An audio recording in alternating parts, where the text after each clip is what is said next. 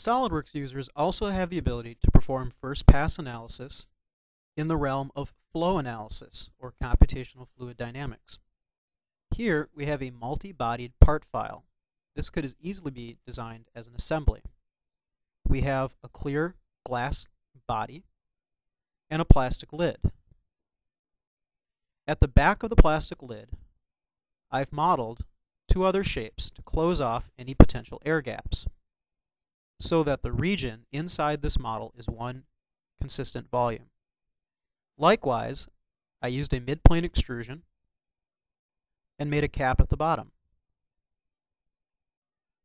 These lids, that's what FloXpress calls them, will be used to help us identify where the air is coming in and where the air is coming out. So let's look at first pass analysis using FloXpress.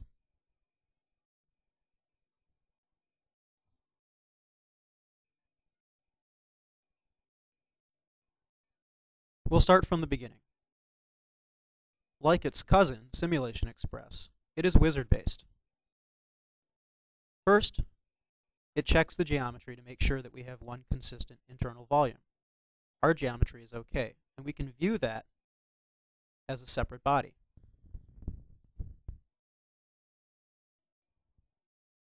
Next, we define the type of fluid. Is it water or air? This model is a portion of a small consumer product, where hot air is blown up through the bottom and then vented out through the top. We'll define that airflow as a volumetric flow rate.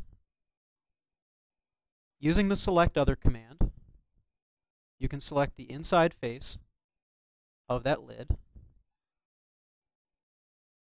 and apply a known volume. Let's put it in at 80 cubic inches per second at room temperature air. Next, we're going to define a pressure outlet using the same technique. Right mouse click, select other, and we'll pick the inside face. This will be used as a pressure opening. Now that we've established our volume, our inlet, and our outlet, we can solve this model.